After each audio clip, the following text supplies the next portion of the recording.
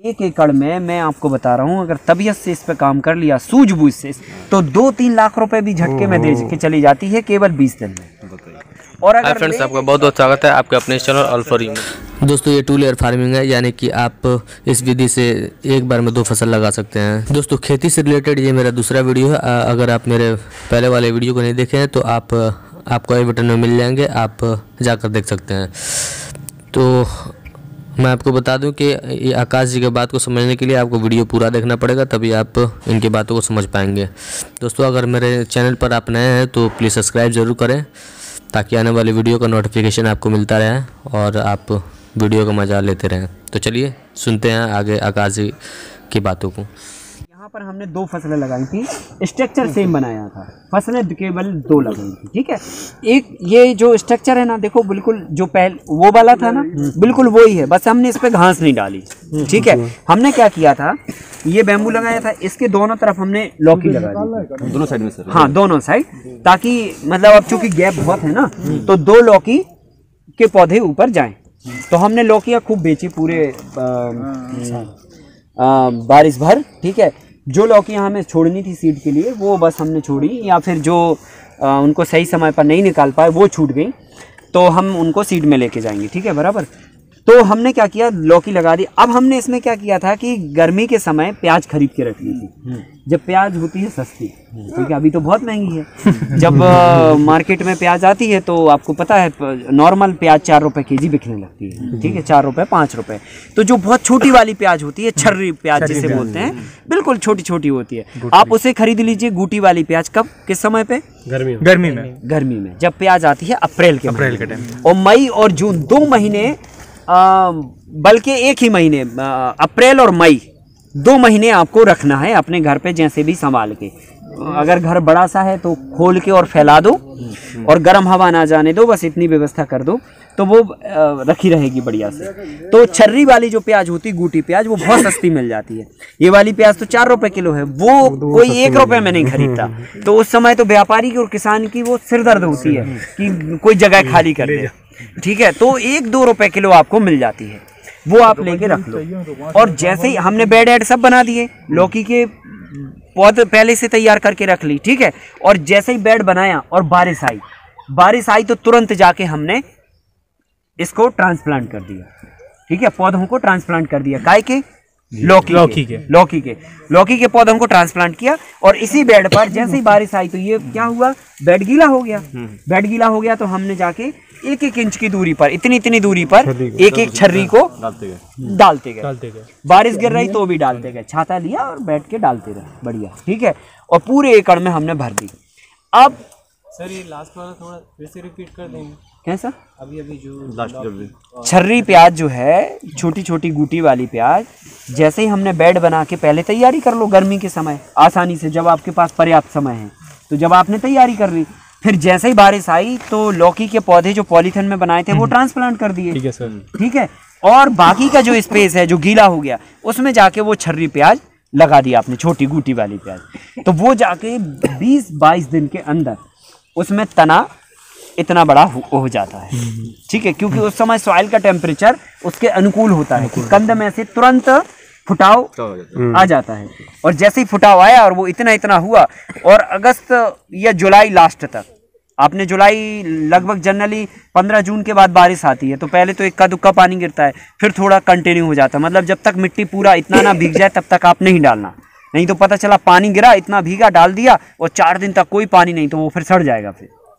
क्योंकि थोड़ा पानी और गर्मी उसको सड़ा देगी कंद को ठीक है?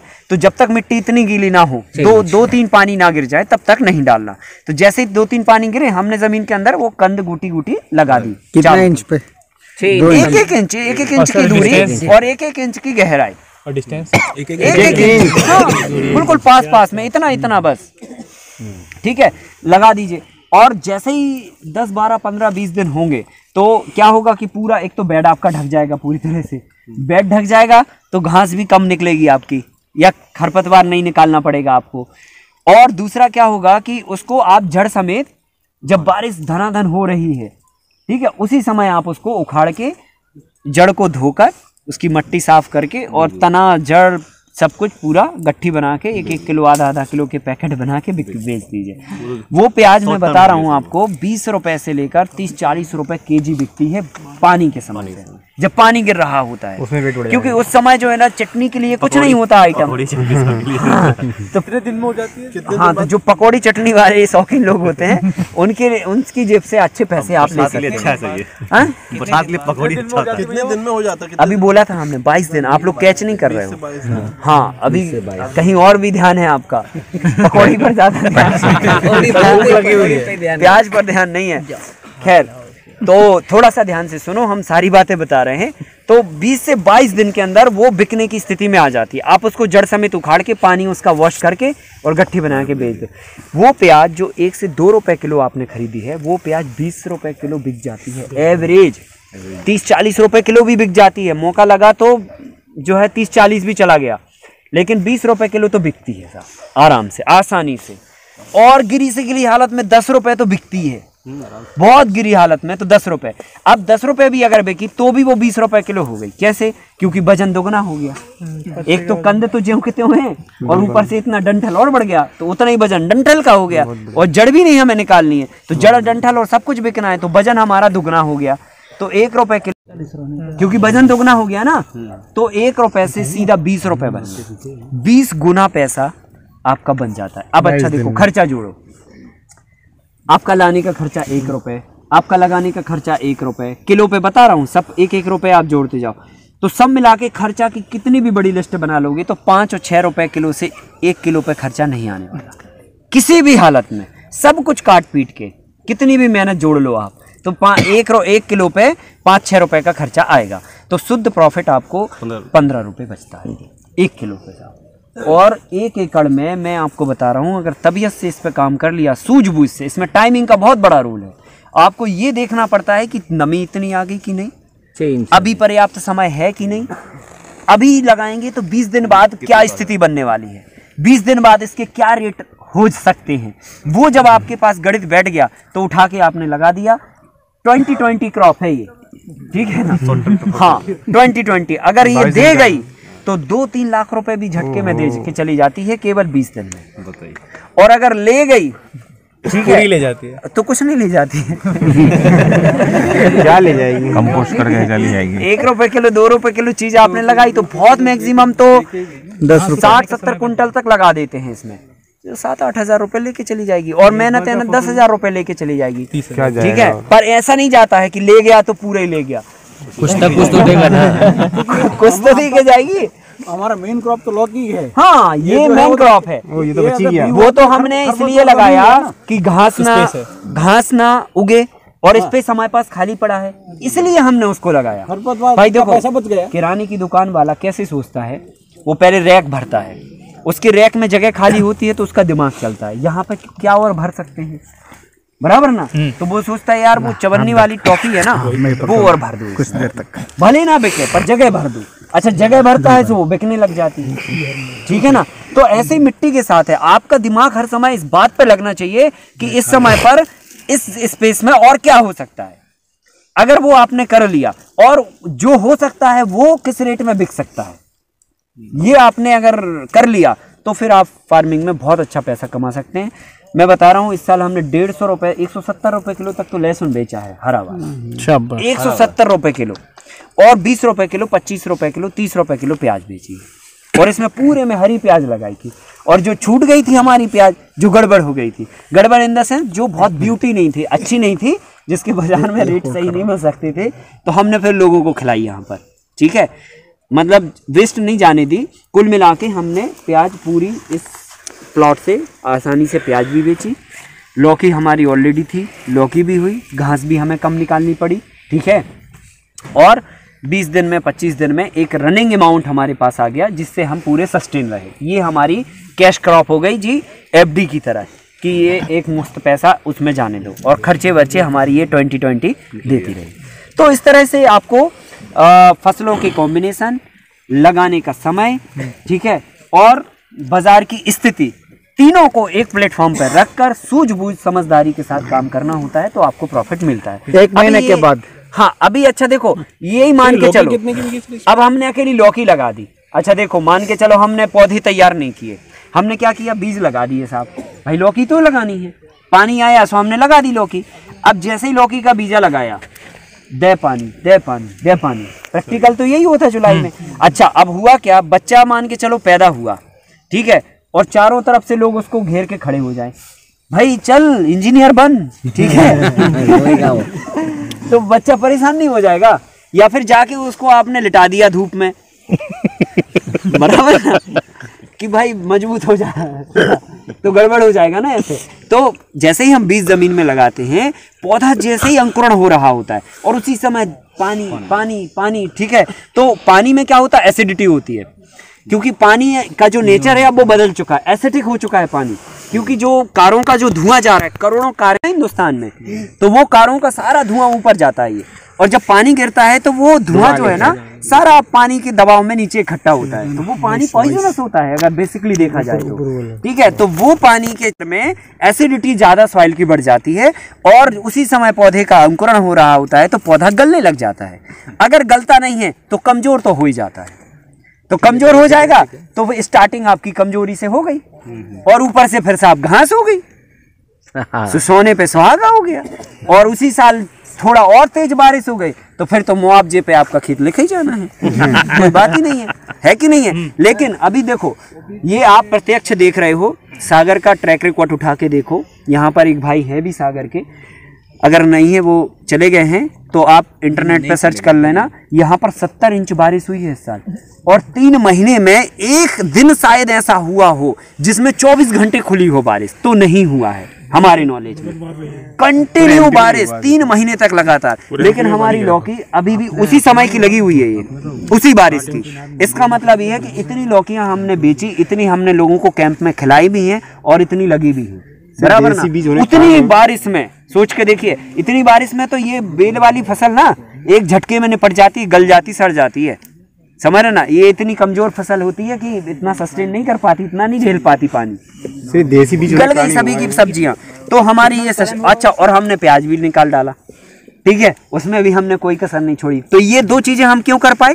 टाइमिंग की वजह से टाइम के मैनेजमेंट की वजह से कि हमने बेड बना लिए थे पहले गर्मी में बारिश आई तो गीले हो गए बेड और पौधा ये लौकी का हमने बाहर ही बना लिया था। ये कब बनाया था? ठीक है कि नहीं? एक महीने पहले ही डाल दिया था। तो इतना इतना पौधा हो गया। हमने जाके ट्रांसप्लांट कर दिया। बारिश होने दो साहब। बारिश होगी तो क्या होगी? जड़ें पकड़ेंगी और वो ग्रोथ करेगी। क्योंकि वो एक डेढ़ महीने का पौधा हो चुका है। तो वो अब थोड़े वातावरण के साथ रह सकता है। और आपने तुरंत लगाया और पानी पानी हुआ तो फिर वो गल जाता है।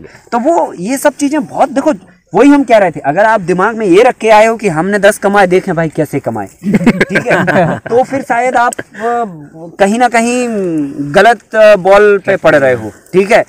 आप ये दिमाग में रखो कि हमने दस के लिए किया क्या है। ठीक है?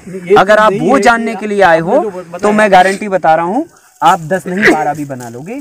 क्यों? मैं बता रहा हूँ क्योंकि अब जो है ना हम खेती में उतना समय नहीं दे पाते हैं जितना हम पहले दे लिया करते थे। तो आप हमसे बेहतर भी कर सकते हो। और अच्छा और बेहतर कर सकते हो। बराबर ना?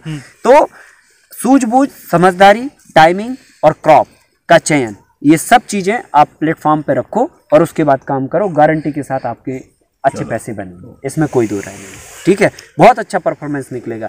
और कितनी भी विपरीत परिस्थितियाँ हो कितनी भी विपरीत परिस्थितियाँ हो वो सब चलेगी अच्छा आप देखो हमने किस दिमाग से काम किया? लौकी लगी है ना? अभी हम क्या करेंगे? सबको हार्वेस्ट करेंगे। और यहाँ से इस बेल को कट कर देंगे। ये जाला नहीं निकालेंगे।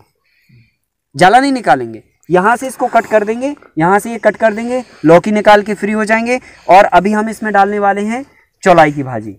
ठीक है? तो अभी हम एक डेढ़ महीने में उसको निकाल निकलू के और फरवरी तक ये फ़ील्ड खाली कर देंगे। ये ऊपर ये जाला लगा रहेगा एज इट इज़ हम इसी पर अभी फिर कुंदरू के बेल लगा देंगे। फिर हाँ। और फिर उसके बाद अदरक लगाएँगे। फिर उसके बाद उसी पे चौलाई लगाएँगे। फिर इसमें पपीता ऑलरेडी हम लगा चुके हैं। ये चार लेयर में तब्दील हो जाएगा। मार्च में झका आपको चार लेयर यहाँ पर लगी दिखेगी। ये एज इट इज़ लगा रहने घास नहीं डालेंगे हम क्योंकि घास का काम ये ऑलरेडी हमारा कर देगा। ठीक है घास डालने की मेहनत बच गई। लकड़ी डालने की मेहनत बच गई। समय बच गया। बराबर ना? तो खेती में इस ढंग से प्लानिंग से काम किया जाता है कि अब ये करें तो अगली फ़सल के लिए क्या तैयारी हो। जाएगी। तो 50 परसेंट हमें बैकअप पहले से लेके रखना पड़ता है। ठीक है कि नहीं? तो इस ढंग से आप काम करोगे तो फेल होने की कोई चांसेस नहीं है। सफल होंगे हंड्रेड परसेंट इसमें कोई देगा नहीं ठीक है इसमें लौकी की क्या थी? हाँ? लौकी की यील्ड कितनी? लौकी की ईल्ड लगभग इसमें हमें देखो अभी पूरी तो नहीं हार्वेस्ट की है लेकिन हमने बीस कुंटल के आसपास तो निकाली है। मतलब बीस कुंटल हम निकाल चुके हैं इतने प्लॉट से आधा एकड़ के आसपास आधा से भी कम है ये प्लॉट और बाकी लगी हुई है है ना? लौकी सर रीप्लांटिंग कर दिया और जितनी हमने लोगों को खिलाई है उसका कोई हिसाब किताब नहीं है। आकाश जी? एक समरी में हाँ। किस महीने में लौकी डाला? किस जुलाई में डाला था। जुलाई में डाला? जुलाई में। मंथ ऑफ़ जुलाई में। तो प्याज को? प्याज भी जुलाई में। जुलाई में, हाँ जैसे ही बारिश आई उसी समय नर्सरी तो मई में डाला होगा ना? हाँ नर्सरी हमने मई में डाल दिया पॉलीथीन में। और ट्रांसप्लांट जैसे ही बारिश हुई मिट्टी इतना इतना गीला हुआ तो हमने ट्रांसप्लांट कर ओके ओके। ऐसा किया। जो प्लांटेशन का और हार्वेस्टिंग का टाइम है। हाँ। वो आप डॉक्यूमेंट में दे देंगे? वो डॉक्यूमेंट में देंगे। सर प्याज कौन सा और कॉम्बिनेशन भी देंगे? किसके साथ क्या लगाना है? कितने कॉम्बिनेशन है सर जी? कितने बेल निकलती है? उसका तैतीस चौतीस कॉम्बिनेशन प्याज जो लगाने हैं वो भी पहले अलग से वो करके रखना। नहीं प्याज उसको लेके रखना है घर बस कपाना है। तो प्याज डाले वैसे लहसुन भी डाल सकते हैं या लहसुन भी डालना है वैसे ही सेम लहसुन का है। उसी टाइम प्याज बरसात हाँ के पानी में उसी टाइम होता कुल मिला के आपको हरा लहसुन हरा प्याज बेचना है बस। ये है। तो हरा लहसुन हरा प्याज कैसे बनता है? लगाया। बीस बाईस दिन में डंठल तैयार हुआ जड़ समेत उखाड़ के बेच दिया बस। हाथ से ही चौपना है ना सर? हाँ? हाथ से ही चौपना है सारा। हाँ हाथ से मैनुअली चलाई बोने से पहले से यहाँ से निकालेंगे बेल को नीचे से। नीचे से निकाल देंगे। हाँ ये सब क्लीन ही कर देंगे। हाँ यहाँ से कर देंगे। ये पूरा क्लीन कर देंगे यहाँ से यहाँ तक। ये सब ऊपर वाला रहेगा। ऊपर वाला रहेगा। बाईस दिन में जो निकलता है क्या? नहीं नहीं एक ही बार में निकलेगा वो तो हाँ। कुछ इक्का दुक्का छूट जाएगा तो दो राउंड में निकाल लो। दो राउंड में फिर दस दिन का गैप देके एक, एक राउंड और लगा दो है ना? ऐसा ये ब्लॉक कितने एरिया का है? देखो ये वहाँ से लेकर वहाँ तक पूरा एक एकड़ है तो ये होगा लगभग वही आधा एकड़ से थोड़ा सा कम। आधा से थोड़ा सा अच्छा स्टार्ट से लेकर उधर अंदर अंदर तक? हाँ पूरा एक एकड़ है। उधर से लेकर इधर पूरा तक। उधर चना लगा साथ में कहाँ? नहीं नहीं नहीं वो चने वाली अलग फ़ील्ड है। हाँ हाँ। बरसात में जैसे कि इसमें प्याज है तो जैसे बहुत तेज बारिश होती होगी तो प्याज में इफ़ेक्ट नहीं पड़ती नहीं नहीं हवा नहीं। रिज बेड बना है ना? पानी गिरेगा धड़क के नीचे आ जाएगा। हाँ। और देखो बेड कैसे ऐसे ऐसे बना है। ऐसे यहाँ पानी गिरेगा यहाँ से ऐसा डाउन हो जाएगा पानी। सारे बेड ऐसे ही बनेंगे सर? हाँ ऐसे ही बनाना है। अदरक वाले भी? हाँ अदरक वाले भी। अदरक वाले थोड़े पहले फ्लैट बनते हैं क्योंकि उनमें हम फरवरी में प्लांटिंग करते हैं। और जब हमारी भाजी पूरी निकल चुकी होती है और अदरक ऊपर आ जाता है तो हम क्या करते हैं मिट्टी की खुदाई करके इसको ऐसा कर देते हैं। अच्छा अच्छा। मतलब मिट्टी यहाँ से यहाँ यहाँ से यहाँ कर देते हैं तो ये फिर ऐसा स्लोप ले लेता है। भाजी निकलने के बाद? भाजी निकलने के बाद बारिश के समय। तो बारिश में फिर पानी लेफ़्ट और राइट हो जाता है ऐसे जब बारिश लेट हो गया तो इस बेड की साढ़े तीन फुट चौड़ाई करनी है। हाँ ये भी साढ़े तीन फीट के आसपास बम्बू टू बम्बू भी उतना ही इतना वो था। नहीं इसमें लेकिन हमने दो फीट की चौड़ाई की हुई है बेड की और रास्ता निकलने का अलग छोड़ा हुआ है दो फीट का है ना? तो सर फिर बाद में हम वो हाँ। इसी बेड में लगा देंगे चौड़ाई बढ़ा देंगे। सर जो भाजी जो लगाएँगे सर हम लोग जब उसको बुनेंगे पूरा उस ब्रिज को तो क्या इस इस पोर्शन में देंगे कि सिर्फ़ इस पोर्शन में देंगे सिर्फ़ नहीं नहीं इसी पोर्शन में देंगे पर इसको थोड़ा सा चौड़ा कर लेंगे आधा फीट उधर खिसका देंगे आधा फीट इधर खिसका देंगे। पावर टिलर चढ़ा के तो बस बेड की चौड़ाई बढ़ा देंगे। आकाश जी जब बारिश डिले हो गया तो हम पानी भर के इतना गीला कर सकते हैं? कर सकते हैं हाँ अगर पानी है आपके पास तो कर सकते हैं हाँ। अगर पानी है। तो कर सकते हैं। है ना? बराबर। चलिए है ना? पानी है तो फिर प्याज हम बिना बारिश के लगा सकते? नहीं। पानी देखो कितना भी होगा पर का टेम्परेचर उतना आप डाउन नहीं कर पाएँगे। क्योंकि देखो प्याज क्या होती है ये कंद है। आप प्याज के पास अपना खुद का पानी होता है। ठीक है उसमें खुद में पहले से पानी है प्याज में। और आप ज़मीन में लगाओगे और ह्यूमिडिटी जो पड़ेगी उस ह्यूमिडिटी से वो फिर गड़बड़ हो सकती है। आप कितना पानी दोगे? वो सारा पानी उड़ जाएगा। गर्मी का पानी बहुत वो होता है। हाँ अगर बहुत ही ज़्यादा है तो फिर कर भी सकते हो ऐसा नहीं है। हाँ फिर तो चाहे लो तो सब कुछ हो सकता नहीं जैसे बरसात जैसे बरसात धोखा दे गई और हमने लगा दी ये सोच के बरसात नहीं लगाओगे ही बारिश होने के बाद। भाई बरसात धोखा दी नहीं वो सही कह रहे हैं। भाई दे बरसात पहली बरसात दो बरसात आ गई फिर नहीं हुई। नहीं हुई। कर सकते हो कह तो दिया